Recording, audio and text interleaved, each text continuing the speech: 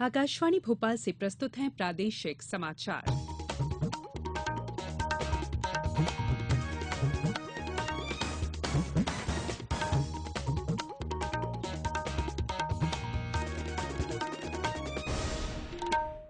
नमस्कार, समाचारों के साथ मैं संयुक्ता बैनर्जी। पहले मुख्य समाचार। प्रधानमंत्री नरेंद्र मोदी ने कहा कि विकास उनकी सरकार का प्रमुख लक्ष्य है। भारतीय जनता पार्टी ने लोकसभा चुनाव के लिए लोगों से सुझाव लेने, भारत के मन की बात मोदी के साथ अभियान की शुरुआत की। कुंभ में कल मौनी अमावस्या के अवसर पर तीसरा शाही स्नान होगा और तीसवां राष्ट्रीय सड़क सुरक्षा सप्ताह कल से। अब समाचार विस्तार से। प्रधानमंत्री नरेंद्र मोदी ने कहा है कि विकास उनकी सरकार का प्रमुख लक्ष्य है, लेकिन आतंकवाद का नामो निशान खत्म करना भी सरकार की प्राथमिकता है। उन्होंने आज जम्मू कश्मीर के श्रीनगर और लेह में बारह हज़ार करोड़ की विकास परियोजना का लोकार्पण और शिलान्यास किया। इस अवसर पर आयोजित कार्यक्रमों में प्रधानमंत्री ने कहा कि सर्जिकल स्ट्राइक से भारत ने आतंकवाद के खिलाफ अपनी रणनीति का खुलासा कर दिया है। इससे स्पष्ट हो गया है कि आतंकवाद को मुंहतोड़ जवाब दिया जाएगा। इस दौरान श्री मोदी ने अखिल भारतीय आयुर्विज्ञान संस्थान सहित कई परियोजनाओं की आधारशिला भी रखी। उन्होंने श्रीनगर में असम, गुजरात, हरियाणा, ओडिशा, महाराष्ट्र और तेलंगाना के विद्यार्थियों के साथ भी संवाद किया। भारतीय जनता पार्टी ने आगामी लोकसभा चुनावों के लिए अपने घोषणा पत्र के लिए लोगों से सुझाव लेने, आज से एक महीने तक चलने वाले अभियान, भारत के मन की बात, मोदी के साथ की शुरुआत की। नई दिल्ली में पार्टी अध्यक्ष अमित शाह ने अभियान की शुरुआत करते हुए कहा कि ये अभियान नए भारत के निर्माण के लिए है। इस अवसर पर गृहमंत्री राजनाथ सिंह ने कहा कि यह विश्व में अपनी तरह का पहला अभियान होगा, जिसके ज़रिए लोगों से विकास और राष्ट्रीय सुरक्षा सहित अन्य मुद्दों पर सुझाव मांगे जाएँगे।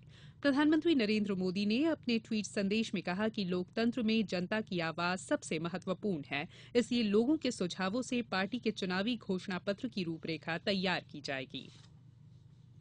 पूर्व मुख्यमंत्री शिवराज सिंह चौहान ने आरोप लगाया है कि प्रदेश सरकार जनता से किए गए वादों को पूरा करने की बजाय समय काटने की कोशिश कर रही है ताकि वो कुछ दिन बाद आचार संहिता का बहाना लेकर कामों से बच सके। श्री चौहान ने आज भोपाल में पार्टी के सोशल मीडिया विभाग की प्रदेश स्तरीय बैठक में कहा कि प्रधानमंत्री नरेन्द्र मोदी ने गरीबों को स्वास्थ्य सुरक्षा देने के लिए आयुष्मान भारत जैसी बड़ी योजना लागू की है, लेकिन राज्य सरकार इसे ठीक ढंग से लागू नहीं करना चाहती है। हमारी सरकार द्वारा शुरू की गई राज्य बीमारी सहायता कोष बंद करके कांग्रेस सरकार लाखों लोगों के जीवन से खिलवाड़ कर रही है। श्री चौहान ने प्रचार अभियान में सोशल मीडिया के इस्तेमाल को महत्वपूर्ण बताते हुए पदाधिकारियों से लोकसभा चुनाव की तैयारियों में जुट जाने का आह्वान किया है। उन्होंने कहा कि केंद्र सरकार की उपलब्धियों को जनता तक पहुंचाकर पार्टी कार्यकर्ता विरोधियों को करारा जवाब दें। कांग्रेस विधायक लक्ष्मण सिंह ने गुना ज़िले की चाचौड़ा तहसील को जिला बनाने की मांग की है। विधायक श्री सिंह ने एक प्रतिनिधिमंडल के साथ मुख्यमंत्री कमलनाथ से मुलाकात कर कल उन्हें एक ज्ञापन सौंपा। इसमें कहा गया है कि चाचौड़ा गुना जिला मुख्यालय से 70 किलोमीटर दूर है, वहीं तहसील के अंतर्गत आने वाले गाँवों की संख्या 300 है। कुछ गाँव जिला मुख्यालय से डेढ़ सौ मीटर तक दूर है। ऐसे में ग्रामीणों को जिला मुख्यालय से संबंधित कार्यों के लिए काफ़ी परेशानी का सामना करना पड़ता है। जिला बनने से चाचौड़ा के लोगों को काफ़ी सुविधाएँ मिल जाएँगी। मुरैना ज़िले के पर्वतपुरा गाँव में ग्रामीणों द्वारा बंधक बनाए गए पुलिसकर्मियों को मुक्त कर दिया गया है। हमारे संवाददाता ने बताया है कि गाँव में अवैध हथियारों की खरीद फरोख्त की जानकारी मिलने पर पुलिस टीम आरोपियों को गिरफ़्तार करने के लिए गाँव गई थी। जब घर की तलाशी के दौरान पुलिस को कुछ नहीं मिला तो ग्रामीण नाराज़ हो गए और उन्होंने पुलिसकर्मियों को बंधक बना लिया। सूचना मिलने पर जिला मुख्यालय से अतिरिक्त पुलिस बल भेजा गया। पुलिस के दबाव के बाद ग्रामीणों ने बंधक बनाए गए पुलिसकर्मियों को चार घंटे बाद मुक्त कर दिया। इस मामले में आठ नामजद सहित एक दर्जन लोगों के खिलाफ प्रकरण दर्ज किया गया है। प्रदेश महिला कांग्रेस की बैठक आज पार्टी के प्रदेश कार्यालय में हुई। इस बैठक को संबोधित करते हुए प्रदेश प्रभारी ओनिका मल्होत्रा ने आरोप लगाया कि केंद्र सरकार ने महिलाओं के सशक्तिकरण और सुरक्षा के लिए कोई ठोस कदम नहीं उठाए हैं। उन्होंने कहा कि महिला आरक्षण विधेयक को पास कराने के लिए भी सरकार ने कोई पहल नहीं की है। इससे भाजपा सरकार की महिला विरोधी नीतियाँ उजागर हुई है। बैठक में कांग्रेस की नीतियों को आम जनता तक पहुँचाने और लोकसभा चुनाव की तैयारियों में जुटने की रूपरेखा भी तैयार की गई। राष्ट्रीय सचिव लता भाटिया और प्रदेश अध्यक्ष मांडवी चौहान इस बैठक में विशेष रूप से मौजूद थी।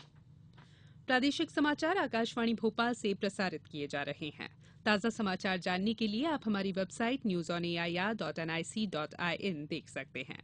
इसके अलावा प्रादेशिक समाचार बुलेटिन यू ट्यूब ट्विटर और फेसबुक पर A I R news Bhopal page पर सुने जा सकते हैं। प्रयागराज कुंभ मेले में कल मौनी अमावस्या के अवसर पर तीसरा शाही स्नान होगा। यहाँ बड़ी संख्या में श्रद्वालुओं के आने की संभावना को देखते हुए प्रयागराज मेला प्राधिकरण, पुलिस और रेलवे ने व्यापक प्रबंध किए हैं। लोगों की सुरक्षा का ध्यान रखते हुए प्रयागराज शहर के विभिन्न स्टेशनों में आने जाने के लिए रेलवे ने अठहत्तर रेलगाड़ियाँ चलाने का निर्णय लिया है। वहीं मध्यप्रदेश से मुख्यमंत्री तीर्थ दर्शन योजना के तहत साढ़े तीन हज़ार से अधिक तीर्थ यात्रियों को पहली बार शासन की ओर से कुंभ भेजा जाएगा। इसके लिए भोपाल स्थित हबीबगंज रेलवे स्टेशन से 12 फरवरी, बुरहानपुर से 14 फरवरी, शिवपुरी से 22 फरवरी और परासिया से 24 फरवरी को कुंभ के लिए विशेष ट्रेन रवाना होगी।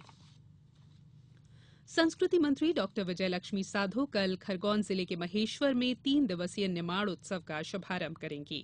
समारोह का उद्घाटन सुप्रसिद्ध पार्श्व गायक उदित नारायण के गायन से होगा। इसी दिन दोपहर तीन बजे से देवी अहिल्या घाट पर नौका सज्जा प्रतियोगिता भी आयोजित की जाएगी। निमाड़ उत्सव में पाँच फरवरी को बड़वाह के बाबूलाल परिहार दल द्वारा निमाड़ी गायन और बैगा जनजातीय नृत्य सहित कई कार्यक्रम की प्रस्तुति की जाएगी। शहडोल ज़िले में पाला प्रभावित किसानों को जल्द ही राहत राशि वितरित की जाएगी।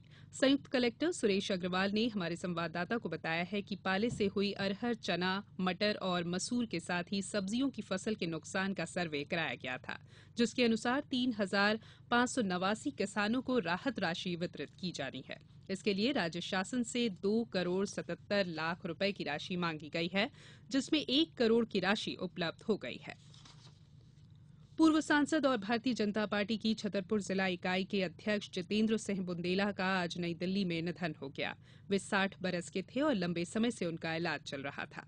श्री बुंदेला खजुराहो संसदीय क्षेत्र से सांसद और छतरपुर ज़िले की बिजावर विधानसभा सीट से विधायक भी रह चुके हैं।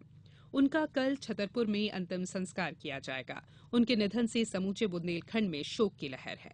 पूर्व मुख्यमंत्री शिवराज सिंह चौहान, पार्टी के प्रदेश अध्यक्ष राकेश सिंह विधानसभा के नेता प्रतिपक्ष गोपाल भार्गव सहित कई नेताओं और जनप्रतिनिधियों ने भी उनके निधन पर शोक व्यक्त किया है। डीडी फ्री डिश की अड़तीसवीं ई नीलामी 11 फरवरी को होगी। इच्छुक प्रसारणकर्ता अपने आवेदन 6 फरवरी तक भेज सकते हैं। प्रादेशिक भाषाओं के चैनल भी इस नीलामी में शामिल हो सकते हैं। अधिक जानकारी Prasar Bharati dot gov dot in slash free dish dot PHP पर उपलब्ध है। प्रदेश में तीसवां राष्ट्रीय सड़क सुरक्षा सप्ताह चार से दस फरवरी तक मनाया जाएगा। इसकी मुख्य थीम सड़क सुरक्षा, जीवन रक्षा होगी। इस दौरान विभिन्न कार्यक्रमों के ज़रिए लोगों को सड़क और यातायात सुरक्षा के प्रति जागरूक किया जाएगा। इस सप्ताह में पुलिस परिवहन और यातायात विभागों की भागीदारी सुनिश्चित की जाएगी। अब बात मौसम की। प्रदेश का मौसम आज शुष्क रहा। वहीं प्रदेश का सबसे कम तापमान चार डिग्री सेल्सियस मंडला में दर्ज किया गया। यहाँ दिन भर शीतलहर का प्रभाव रहा। मौसम विभाग ने अगले 24 घंटों के दौरान ग्वालियर, चंबल, सागर, उज्जैन और भोपाल संभागों में कहीं कहीं कोहरा छाने की संभावना व्यक्त की है। अब कुछ समाचार संक्षेप में। छिंदवाड़ा ज़िले में फ़सल ऋण माफ़ी योजना के अंतर्गत एक लाख चौबीस हज़ार से अधिक किसानों के आवेदन भरवाए गए।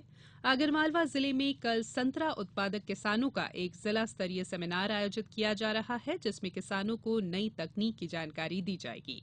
प्रदेश में कुटीर और ग्रामोद्योग मंत्री हर्ष यादव ने आज सागर में राज्य स्तरीय फ़िल्म महोत्सव का उद्घाटन किया और खंडवा ज़िले के ग्रामीण बेरोजगार युवाओं को रोज़गार उपलब्ध कराने के लिए जनपद स्तर पर शिविर आयोजित किए जाएँगे। अंत में बुलेटिन के मुख्य समाचार, एक बार फिर। प्रधानमंत्री नरेंद्र मोदी ने कहा है कि विकास उनकी सरकार का प्रमुख लक्ष्य है। भारतीय जनता पार्टी ने लोकसभा चुनाव के लिए लोगों से सुझाव लेने, भारत के मन की बात मोदी के साथ अभियान की शुरुआत की। कुंभ में कल मौनी अमावस्या के अवसर पर तीसरा शाही स्नान होगा और प्रदेश में तीसवां राष्ट्रीय सड़क सुरक्षा सप्ताह कल से। इसके साथ ही प्रादेशिक समाचारों का ये बुलेटिन समाप्त हुआ। नमस्कार।